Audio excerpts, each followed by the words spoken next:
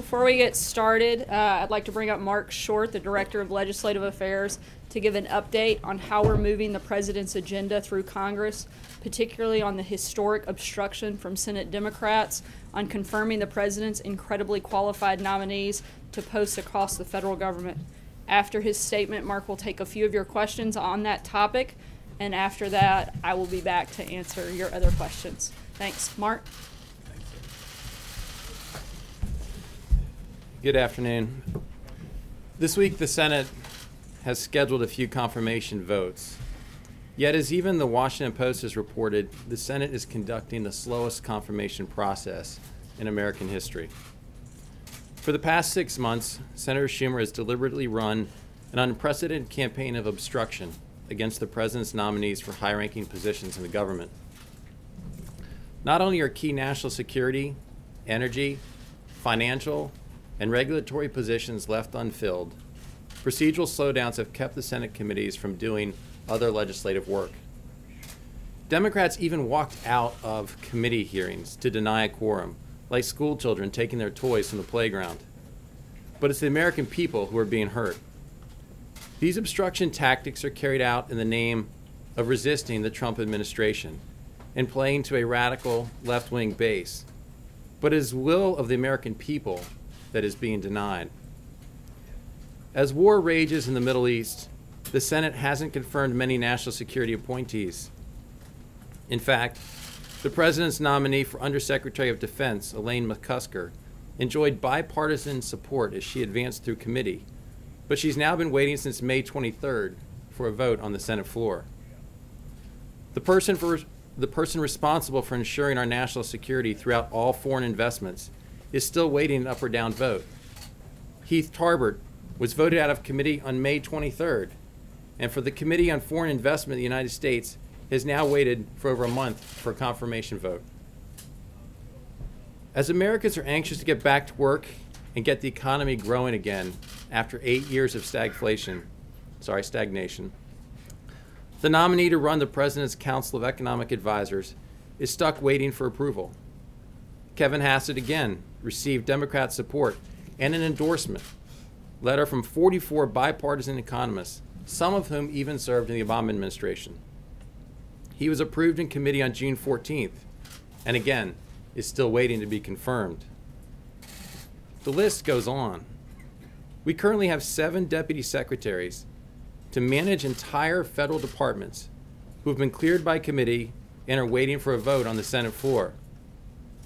Folks, it's July 10th, and we do not have deputy secretaries at the Small Business Administration, the Department of Interior, the Department of Energy, HUD, HHS, OMB, and the Department of Defense. Senate committees have cleared 32 of our nominees who are still waiting for a floor vote. In total, there are 133 nominees waiting for consideration by various committees. While Senator Schumer irresponsibly champions the resist movement, his partisan tactics are harming the country and obstructing the will of the American people. To date, the Senate has confirmed a total of 50 Trump administration nominees. To put that in perspective, the Senate had confirmed 202 officials at the same point in the Obama administration. We think that that is a, a fair analogy because Republicans um, now control the Senate, Democrats control the Senate at that point, and, um, and the comparison is 50 to 202. By the August recess in 2009, the Senate had confirmed 292 Obama administration nominees by voice vote alone. To date, the Trump administration nominees have received five voice vote confirmations. The truth is that Democrats are putting their agenda ahead of the will of the American people. Democrats are keeping key agency nominees from serving their country. And today we're calling on, on, Senator Chuck Schumer to stop blocking the will of the American people for political gain. And we're also calling on you in the media to help shine light to bring this problem to light of day. The Senate will likely devote this entire week to approving just three well qualified nominees. We ask, give these critical nominees an up or down vote so they can get to work. I'm happy to take your questions. Have you talked to the Democrats at all to find out why they're uh, offering such uh, pushback? And have you tried to negotiate with them behind the scenes to try and cure some of the problem, or is it just here that we've heard about it? Yes, we've uh, spoken to them. Yes, we've been trying to work at that. Um, I think that uh, uh, one one comment that uh, the Democrats are likely to say is that well, Republicans control the committees, and so they could move forward these committee assignments to the House floor quicker. But as we've already articulated to you, 32 of our nominees are sitting there waiting for floor votes now. The number of voice votes is is is small fraction of what was afforded Obama nominees, and uh, and we think that there's really no historical precedent for this. Just a quick follow-up then is, uh, what about those Democrats who are also saying this pales in comparison to what Senator McConnell said about the previous administration, that the goal one was to not pass anything that, or help the administration in any way, shape, or form? I think that the record shows that what uh, McConnell did as Senate Republican leader at the time was to confirm uh, Obama's nominees. I think there's a long history of believing the American people elected an administration, the committees determine the qualification, and assuming that those candidates are qualified, they get votes. We're not receiving that courtesy. Yeah, Peter. Mark, if I can ask you, earlier today, um, we heard from some top U.S. senators, including Chuck Schumer, Dick Durbin, Patty Murray, and others, that basically said in simple terms they want to advance policies that would help bring stability to health insurance markets and make premiums more affordable for millions of Americans, effectively calling for bipartisanship in the effort to deal with health care right now. Do you think bipartisanship, given the fact you want Democrats to work with Republicans on these nominees, is bipartisanship the way to go to best serve Americans on health care?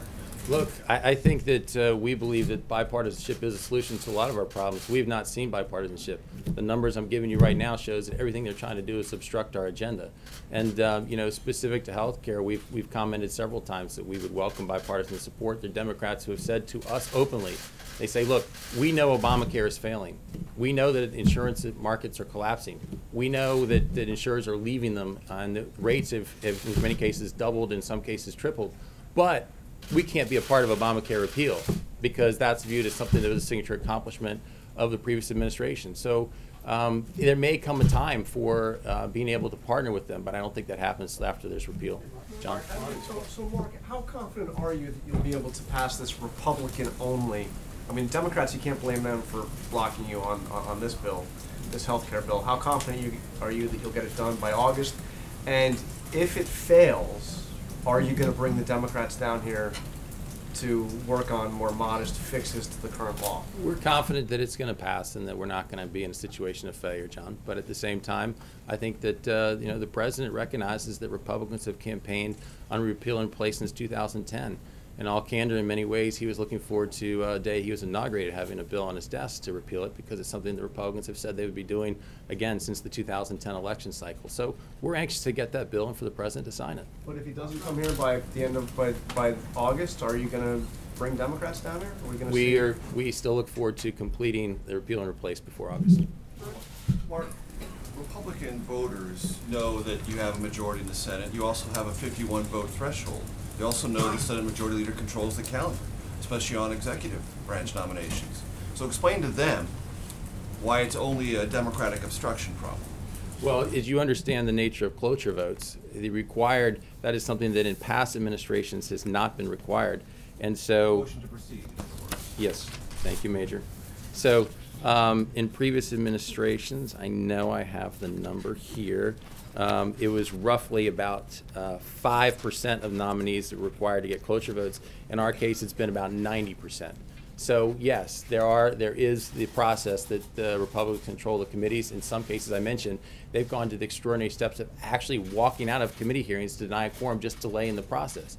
And in many cases, we believe that part of this is obstruction because they know the most precious thing the Senate has is floor time. So if they stretch this out longer, it means you don't get to your legislative agenda.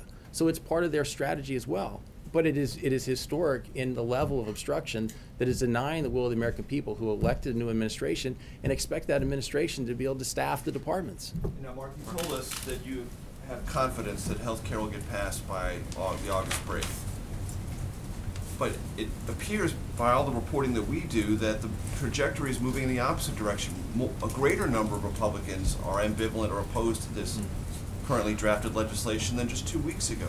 What is the source of your confidence when the outward vote counting appears to be moving in the opposite direction from the adminis- administration's vantage point? We look forward to uh, being able to rescore bills that provide, I think, many things that uh, various factions of the party were looking for.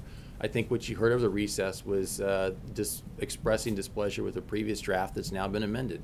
It includes, as you know, a lot of resources for opioid funding that many in the in states, perhaps more in the Midwest, that have been plagued by uh, opiate addiction, we're, we're looking to get. It also includes the ability to use your HSA accounts to pay for premiums, and that's something that many of the conservatives have asked for. We also are waiting to see how the Cruz Lee amendment gets scored. So we believe that the bill is changing significantly in a way that will garner the necessary votes. Mark, Mark, Mark, thank you. Can you map out specifically what role President Trump is going to take in trying to get this bill over the finish line? Obviously, in the final days of the health care bill's passage, he was very front and center. Is he going to take the same type of approach in these next two weeks? Obviously, he has the Paris trip coming up. And then I know you're focused on Plan A, but should you need a Plan B, is it the position of this White House that Obamacare should be repealed with a plan to replace it further down the line? Several questions there. Um, I think that there's a natural difference between a bill passing the House and a bill passing the Senate. And so when you have 435 members in the House, I do think that the appearance will be more frenetic. You'll see many members coming over here to the White House for broader meetings. In the Senate, we know that the number of targeted votes is a much smaller number. And so you're not going to see that same level of, of activity of, of members coming in and outside the White House. But the president doesn't mean the president isn't engaged. As the president was uh, leaving for his most recent trip on a holiday weekend, he was continuing to make calls, and he will continue to make his case. It's, this is a promise that Republicans have made to voters, and it's a promise that he expects them to deliver on. If you need the Plan B option, is it still the position of this White House, as the president tweeted several days ago, that the focus should shift to repealing Obamacare now, making sure that happens, that promise to America's To be, voters gets fulfilled? to be clear, to be clear, we still believe that the bill before the United States Senate is the preferable path. I just want to state that clearly for everybody that that is the path that we're playing on. But I think the president is making a very clear point that Republicans have voted many times on a repeal bill. And when we talk about its repealing, it's important to keep in mind what that did. It continued payment for Medicaid. It continued, it would create basically a stabilization fund to keep the markets as they are for a period of two, three years until a replacement plan is put together. And I think the president is making the case that Republicans have already cast that vote. And it's not as if markets have gotten healthier. Markets have only continued to become, have, have continued to collapse. And so, in light of that, it's pretty hard to explain, we think, how you would have voted for it 18 months ago and couldn't support the similar vote when the markets get worse than what they were. So uh, the president does recognize that, that, that he just thinks stating a simple political fact that that's their a, rec- a vote they're on record. In fact, 49 of the current Republicans voted for that uh, previously. In addition, now Todd Young voted for it in the House and is in the Senate. So right there, you have 50 votes basically casting the same vote. Every day you- Right, that's the price what you're referring to, right, Mark? uh, There's been multiple repeals. This is the most recent was December 15. Back on the obstruction charge, has the president raised this directly with Senator Schumer, and how often do they communicate? I will, um, I will leave the president's um, personal conversations to, uh, with Senator Schumer, but keep in mind that there are also Democrat nominees working through this process, that there are certain independent boards and agencies for which uh, statutorily the Democrats, the minority party, gets its own picks. And, and to date, I will grant you, it's a very small sample size, but we have nominated twice as many to this point as Bush had.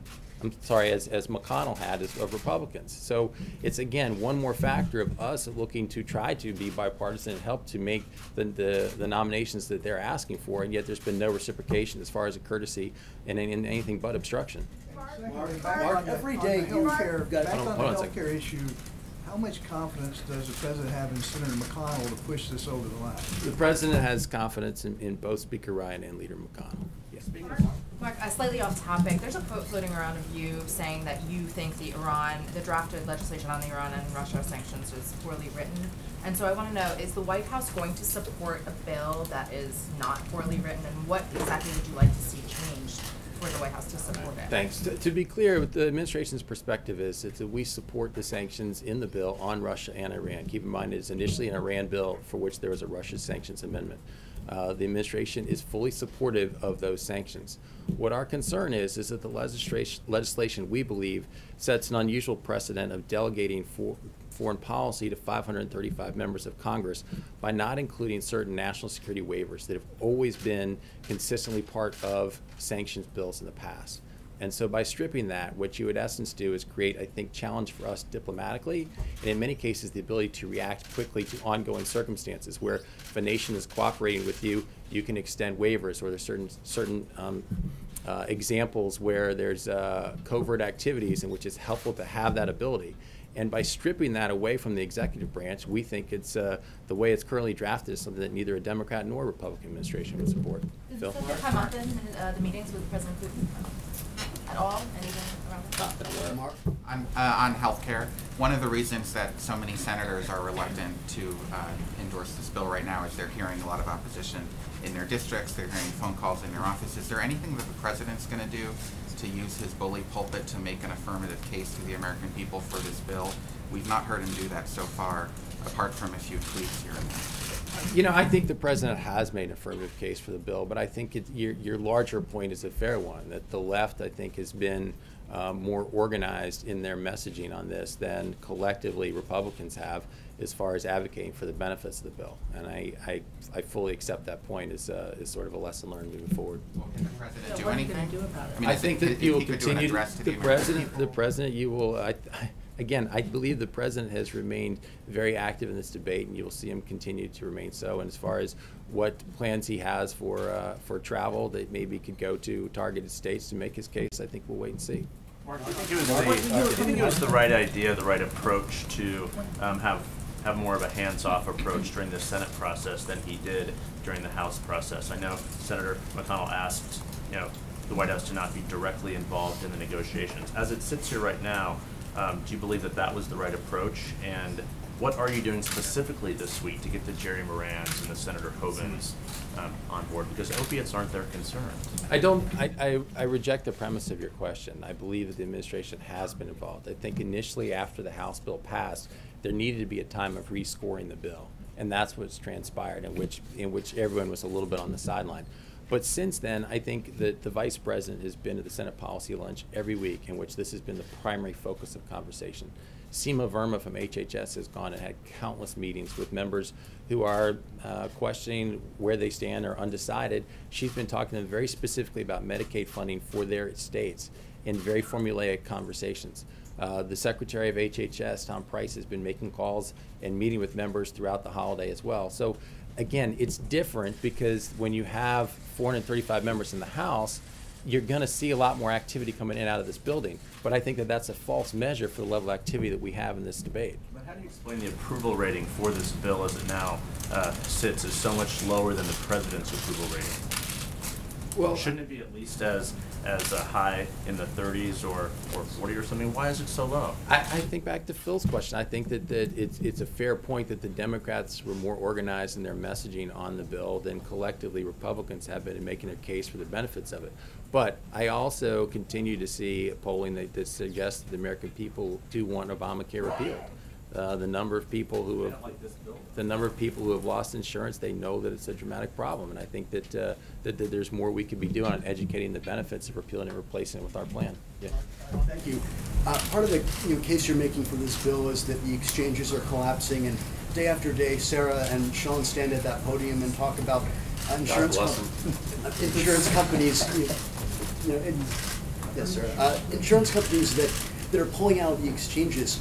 But uh, until that bill passes, uh, Obamacare is the law of the land, and, you know, those exchanges are set up by, you know, by the law. Has the administration made, or you know, is the administration making any effort to keep these insurance companies in the exchanges, or you know, are are you guys just know, letting letting them pull out? I mean, what sort of effort is that to Yeah, it's a great question. I guess fundamentally, we don't think it's the federal government's job to force an insurer to stay in the exchange.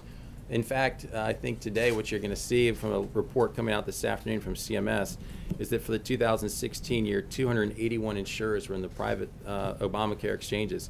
By 217, it had fallen to, to 241, and just now, as they're supposed to submit their bids for next year in 2018, it's down to 141 insurers.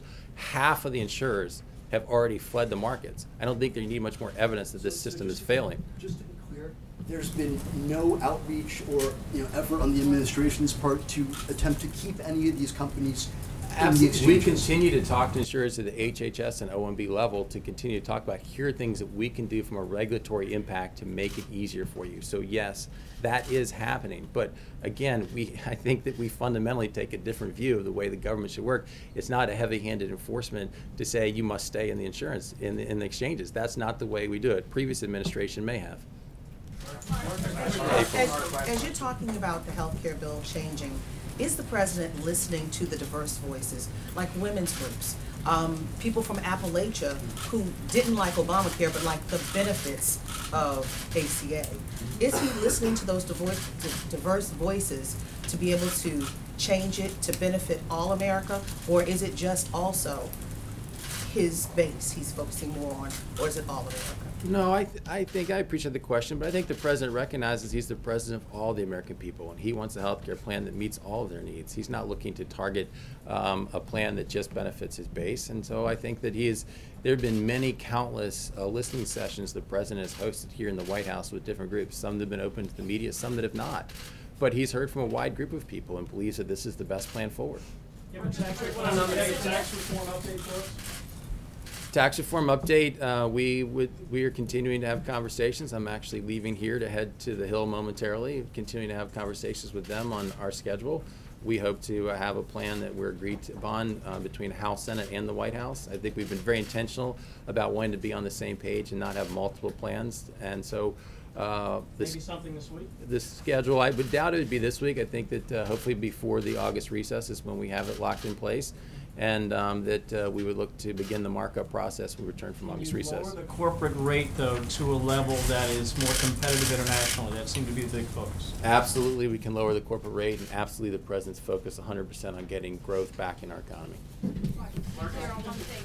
Senator Sassen said that if by today, the Senate had to make meaningful progress in coming together around a single bill, they should move ahead with repeal, followed by discussing replace afterwards. And the president appeared to endorse that right before last. So to be clear, do you think that they've made enough progress at this point that they don't need to go down that? I, look, I think that, that if that's a deadline that uh, Senator Sasse said, you should, you should ask Senator Sasse that. I don't think the president set an artificial deadline on that. As we've already discussed in a previous question, I think that uh, he's just pointing out the obvious of where the votes were on a previous uh, repeal vote. Thank you all very much. Nominations. Thank Mark, you. would it be a I'll give one mistake, nomination. all right. That's the original Yeah, topic. yeah, but this is- I hope this is an uh, You'll find it an important question. You described this as a national security threat, the fact that there are Yeah. sixteen nominees on the defense side that have not been confirmed. Given that, given the Democrats' strategy, would it be a mistake if the Senate were to go on recess in August, if these nominees are not confirmed? I, I think that uh, we are looking toward uh, confirmations by the August recess. One of the data points I gave you is comparison of what Obama had confirmed by August recess, and that's, that's a threshold that we'll look at. And, uh, and I think that the president has every right to call Congress back if necessary, because I think, Exercise that authority? because I think you make a very fair point that I believe that the Democrat obstruction is jeopardizing national security. Thank you. Thanks, Mark.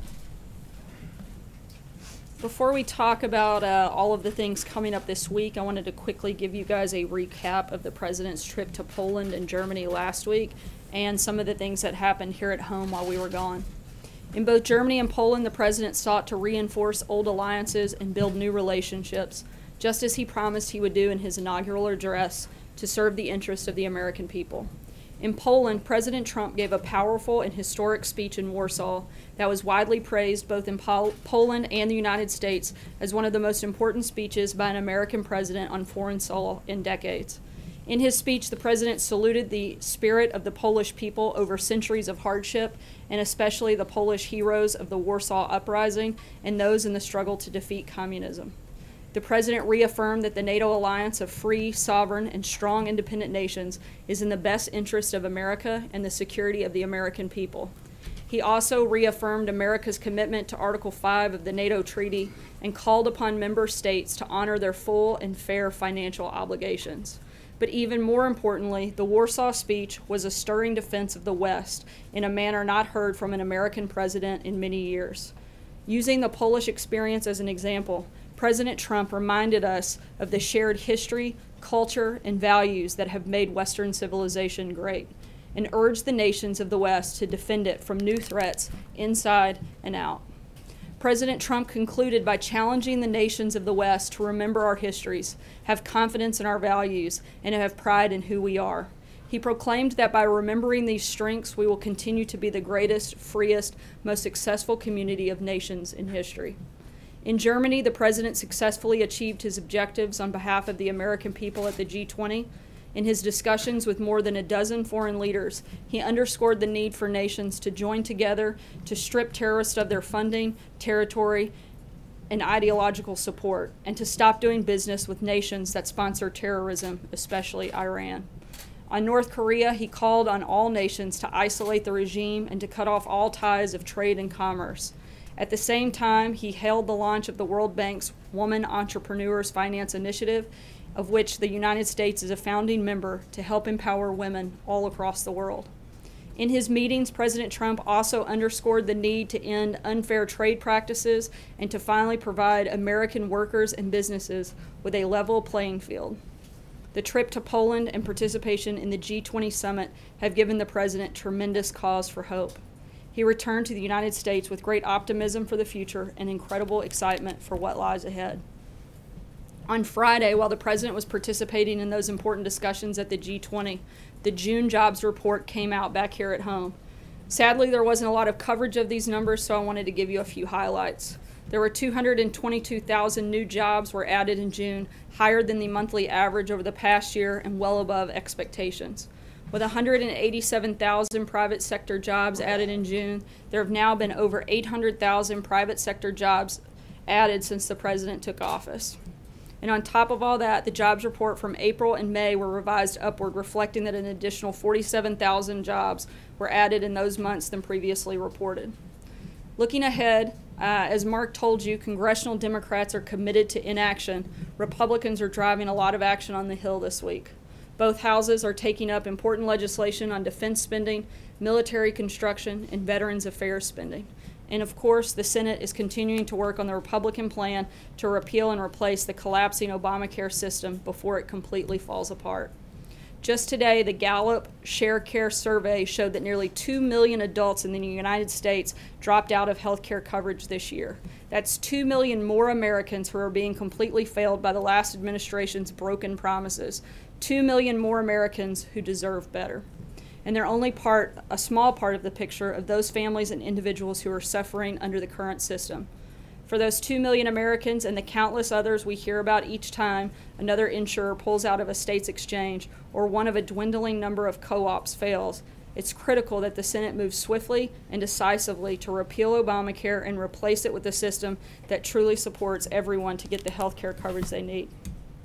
Later this week, of course, the President will be in France, and we will have more details on that trip uh, in the coming days. While the president is in France, the vice president will deliver the opening keynote address to the National Governors Association summer meeting on Friday. And as a former governor, the vice president will speak with some of his former colleagues about the president's commitment to partnering with the states on issues like infrastructure, healthcare, and education. While in Rhode Island for the event, he will also meet with the Prime Minister of Canada, who is attending the NGA meeting to continue our country's productive conversations on immigration, security, and trade, including renegotiating NAFTA. And before I take your questions, I want to read a statement from the President on some recent current events. Today, Iraqi security forces, supported by the United States and the global coalition, liberated the city of Mosul from its long nightmare, long-time nightmare under the rule of ISIS. We congratulate Prime Minister Abadi, the Iraqi security forces, and all the Iraqis for their victory over terrorists who are the enemies of all civilized people. We mourn the thousands of Iraqis brutally killed by ISIS and the millions of Iraqis who suffered at the hands of ISIS. We grieve with the Iraqi people for the loss of heroic soldiers who gave their lives to restore life to their country, and we honor their sacrifice. We in the United States and the global coalition are proud to stand with the Iraqi security forces and all those who made this moment of liberation possible.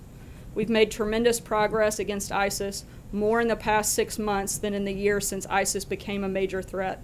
The victory in Mosul, a city where ISIS once proclaimed its so called caliphate, signals that its days in Iraq and Syria are numbered. We will continue to seek the total destruction of ISIS. And with that, I'll take your questions. And because he's not always here, and he's a fellow Arkansan, Frank Lockwood, because I get to pick. The president today uh, tweeted that it would be unimaginable, he can't imagine that Congress would go home in Washington, from Washington in August, take the month off if they haven't dealt with repeal and replace of Obamacare. If Congress does the unimaginable and goes from, a- is the president in- prepared to ensure that there are consequences for those vacationing lawmakers in 2018? Uh, I don't know that he's going to lay out a, a list of consequences. I think he's focused on the positive component of this, and that's the hope that uh, all of the members of Congress will come together to repeal and replace Obamacare. Uh, that's his focus is making sure it gets done, not on what happens if it doesn't. If I could ask on one more tweet. Uh, The president also tweeted this morning about uh, Hillary Clinton, Chelsea Clinton, uh, said that she was uh, giving away the country, I believe. Uh, At what point is the president going to put Hillary Clinton, Chelsea Clinton, Bill Clinton in the rearview mirror? He won the election, he won it fair and square. When does he just let them go and, and look forward? Uh, I, I believe this uh, tweet was a response to the attacks on uh, his daughter taking his seat, if I'm correct. Is that the one you're referring to, Frank? Uh, look, this wasn't about uh, putting them in the front.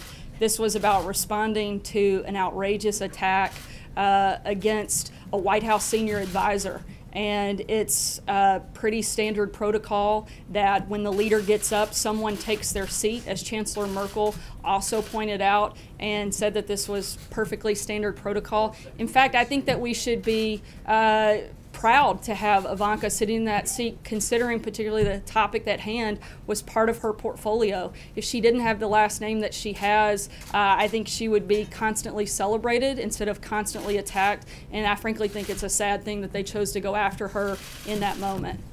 Jonathan. Sarah, uh, first just a quick clarification from the, uh, the meeting with Putin in Germany.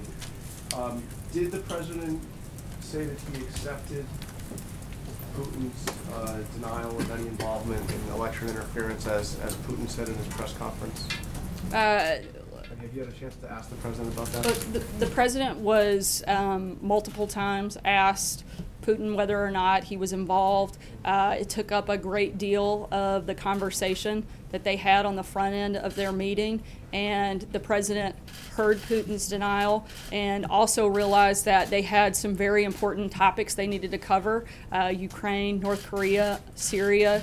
And decided to move on from that point of the conversation and focus on those issues, and that was that the purpose. or- or Look, he he? heard he heard Putin's denial, uh, and he knew that at the end of the day, the important part was them being able to have that conversation, him to directly ask him. He heard his answer, and he moved forward with places that they thought they could work together. The president's been clear uh, from his statements back in January, uh, and even in his tweets over the last couple of days, his opinion on that matter. And, and, and the, the question when I suppose the, the reports on this meeting that took place at Trump Tower last June, uh, with Donald Trump Jr., Paul Manafort, Jared Kushner, when did the president learn that that meeting had taken place? Uh, I believe in the last couple of days, is my understanding.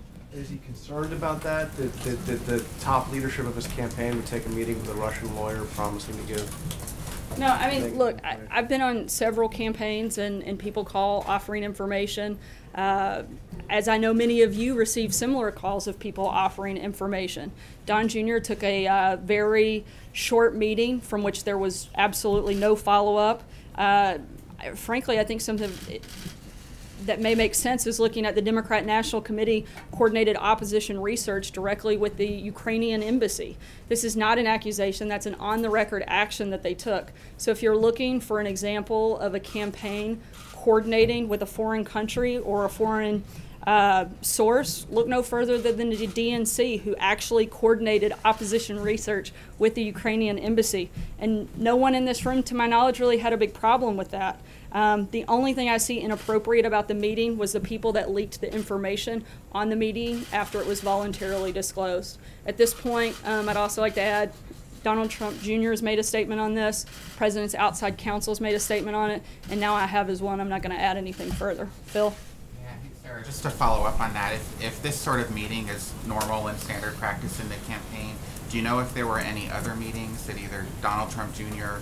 or other representatives of the Trump campaign had with other Russian officials or any other foreign agent? I, I don't know of any. I don't know of right. I don't know of any other meetings with Don Jr. But I also uh, haven't had an extensive conversation with him. Into whether there were any others? I'm not sure, Phil. I'll have to check and get back to you. Matthew. Um, I have a question about this cyber task force with Russia. Yesterday, the president uh, tweeted about the cybersecurity unit being put together, and then about 12 hours later said it would never happen. What what went down in those 12 hours that so drastically changed that situation? Uh, this was uh, part of a discussion in that meeting.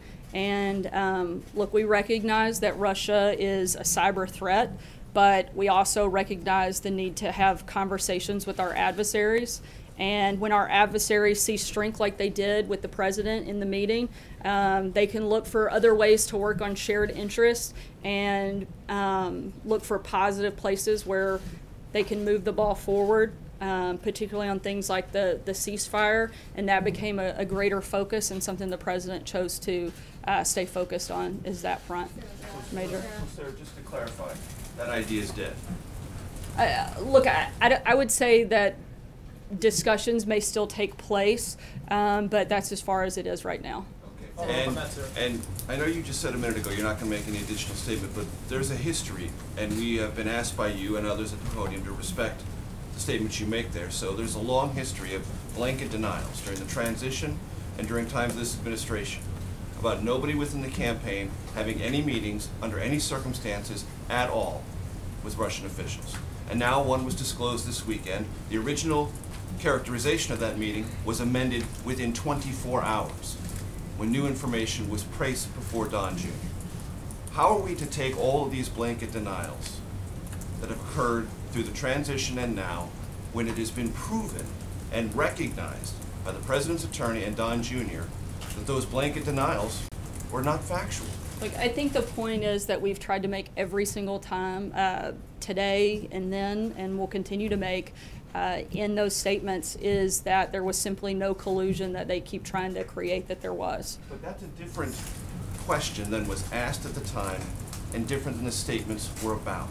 The questions originally, as you know and I know, were about contacts, and those were blanket denied. And then when the contacts became confirmed, then it was, well, they were free, infrequent. Well, now we have a whole pattern of lots of different meetings that have to be confirmed later. And those original questions were not about collusion, Sarah. They were just about Actually, they- contacts. They, were- they were originally about that. That's the whole premise of which you're asking the question, is whether or not uh, the campaign colluded with Russia. That's, that's the premise of the entire scope of your questioning. And the point we've tried to make over and over again and will continue to make is that there wasn't. And beyond that, I, I really can't offer you anything. Sarah, back to uh, yesterday morning's tweets, can you tell us what was or what is or what was going to be a cybersecurity unit and how this was going to work? Uh, I'm not sure that there was uh, there were specific details discussed. I think it was simply just a discussion on uh, cybersecurity threats and potential options, not necessarily a uh, formal kind of structure in place. So, John Decker. Thanks a lot, Sarah. After this two and a half hour meeting with uh, President Putin that the president had in Germany, how would you describe the state of U.S. relations with Russia? Do you view Russia as a partner? Do you view them as an ally? Do you view them as an adversary? Uh, I would want to have uh, further conversations with uh, members of the Secretary of State National Security Council, but I think we saw that there were places of shared interest that we can work together, specifically things like the Syrian ceasefire uh, that we both can agree on in order to move forward in some places. I don't think that's going to be the case on everything, but there are certainly certain instances where we can work together uh, with Russia to make every part of the world a little bit safer. Does the president trust President Putin? Uh, I haven't asked him that question. Could you please ask him that question? Yeah, go ahead. Thank you, Sarah. I have two questions. Um, we know there was no note taker in the meeting, but did you make an audio recording of the meeting or did the Russians? Uh, not that I'm aware of it. I have to ask. I'm not sure. Did you ask? And the second question is, um, Director Comey was under oath when he said that the memo he gave to his friend did not include classified information, and the president tweeted this morning that he did leak classified information. Is he accusing Comey of perjury? Uh, I think there are uh, a lot of questions out there uh, and a lot of reports where uh, it indicates that Director Comey may have leaked classified information. Uh, that certainly is a threat to the national security and violates policy and law. I think it's something that should be investigated thoroughly. But the president stated flatly that he leaked classified information. He, he's got a uh, much higher clearance. He may know something I don't. April. Um, Sarah, I want to go back to a couple of questions. Um, when you talk about the issue of Don Jr., you're talking, you said leakers. What do you think about the word whistleblower? I'm sorry. I, I, You're trying to say people who gave that information were leakers. What about the issue of whistleblower? Do you, what do you see whistleblower versus leaker? Well, I think this is a voluntary disclosure uh, to include some of that information, and I think that it would be inappropriate for that to be shared outside of the scope of people that should have that information. So, John Gizzi. Just one more question. So on- on the issue of collusion, are you saying there's no collusion when it comes to the overall arch of the campaign? But what about the individuals? What about individuals that could be um, suspect, suspects of collusion? Are you vouching just for everyone in total, or individuals, or what? I'm saying that the president's campaign did not collude in any way. So That's, when we go to different people, what do you say about that? Uh, give Flynn, me, I, Don Jr., anyone, this- the names that are coming. I would certainly say Don Jr. did not collude with anybody to influence the election. What about Flynn? I, to my knowledge, he did not collude with anybody uh, to influence the campaign. Again, I think I've been very clear. Our position is that no one within the Trump campaign colluded uh, in order to influence the, the election. I think the bottom line is that the Democrats had a, a, a weak candidate, and President Trump had a stronger message, and they're constantly looking for ways to undermine the president and delegitimize his election victory. John Gizzi. Thank you, Sarah. Two brief questions. Uh, When the president arrived for the G20 summit, uh, it was widely reported that the Putin regime was cracking down on uh, the opposition candidate, Mr. Navalny, at the time. This has been just the latest in a series of events in which human rights and dissent have been crushed in Russia. Was human rights raised at all by the president in his conversations with Russian president? I'm not sure. I'll have to ask John and get back to you on that. All right, My other question is. I knew there was a second one coming. I don't care, the other one's coming. Uh, the president did talk privately with Chancellor Merkel, we know. Days before he arrived there, her party, the Christian Democratic Union, made a much publicized change in its platform and dropped its reference to the United States as a friend and changed that to important ally. Was this something that came up in their meeting, and did the president ask why she did that? Again, I haven't heard that that was specifically discussed, but I'll be happy to ask and circle back with you. Trey? Two quick questions for you. Did President Trump discuss sanctions with Russian President Putin at the G20 summit? Uh, I do know that it was mentioned specifically uh, when you ask about sanctions. I know there's a little bit of a, a question there, and um, there were uh, sanctions specific to election meddling that I believe were discussed, but not beyond that. Did the president's views on sanctions uh, for against the Russians change at all after his meeting with pr- President Putin? Not that I'm aware of. Hunter? Thank you, Sarah. Um, this latest meeting with the Russian lawyer, we, we now have three instances where, including with Ambassador Kislyak and the head of the Russian bank, where Jared Kushner seems to have met with Russians and not disclosed it during his security clearance check. Is the White House at all concerned about that? And do you think it raises any questions about Kushner's competence or honesty? Uh, I believe actually it was disclosed on his uh, security clearance with an updated, yeah. It was updated paperwork, not initially.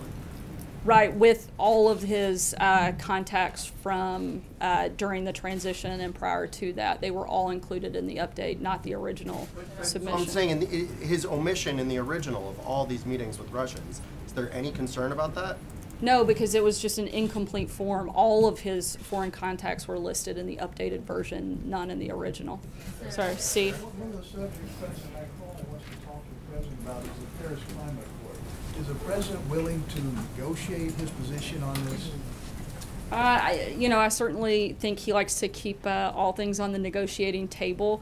At the end of the day, the president is very focused on making sure that he gets the best deal for the American people. He certainly wants to do things to protect the environment, as we have a history of doing in the United States. He's going to continue that practice and continue to encourage it, but also uh, make sure that he's making the deal that's best for the American people. Thanks so much, guys.